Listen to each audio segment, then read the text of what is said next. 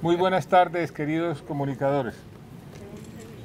En el presente Consejo de Seguridad, acompañado de las autoridades departamentales, militares y de policía, se evaluó el comportamiento de las diferentes amenazas criminales que afectan al departamento, como también se tomaron decisiones para avanzar en la construcción de condiciones de tranquilidad y confianza a la comunidad araucana. Primero,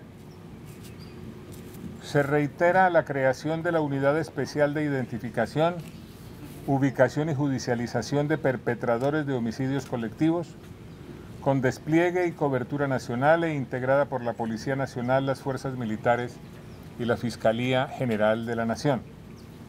Una de las primeras tareas de esta Unidad Especial de Identificación, Ubicación y Judicialización de Perpetradores de Homicidios Colectivos será avanzar en las investigaciones que permitan esclarecer los hechos recientemente que han golpeado no solamente a esta comunidad, sino a todo el país.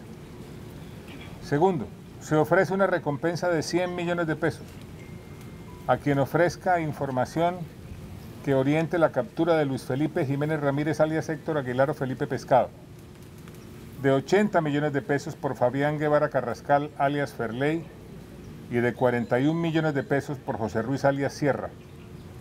Estos criminales pertenecen al GAO Residual Estructura 10, quienes serían los principales dinamizadores del homicidio en la región.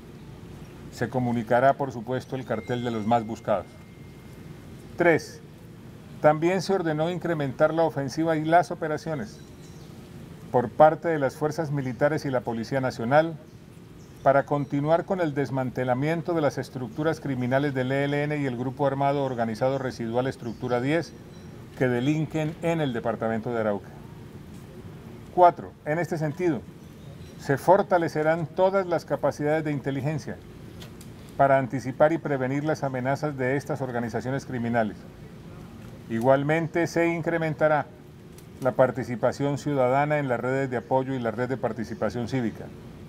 Se fortalecerá el Centro de Fusión de Inteligencia de las Fuerzas Militares y la Policía Nacional.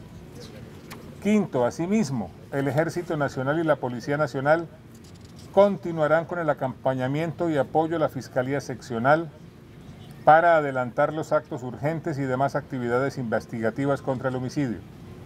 El miércoles 26 de agosto se realizará una reunión con la Fiscalía desde el nivel central para coordinar esfuerzos de judicialización.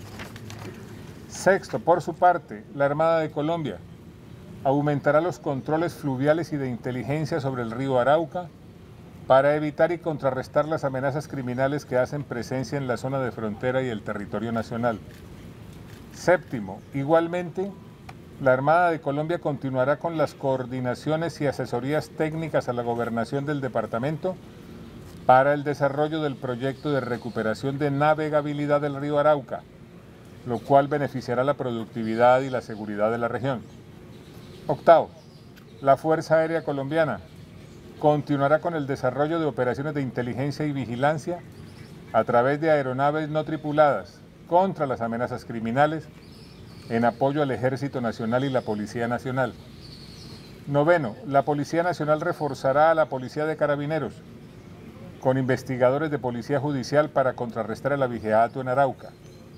Décimo, por otra parte, las autoridades departamentales, con el apoyo del Gobierno Nacional, convocarán el Comité de Prevención de Reclutamiento Forzado para tomar las acciones enfocadas a evitar este fenómeno. 11.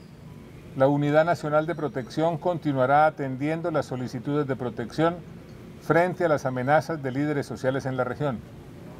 12 se solicitará una visita por parte del señor director del IMPEC para revisar la situación carcelaria en el departamento a efectos de proponer soluciones respecto del hacinamiento.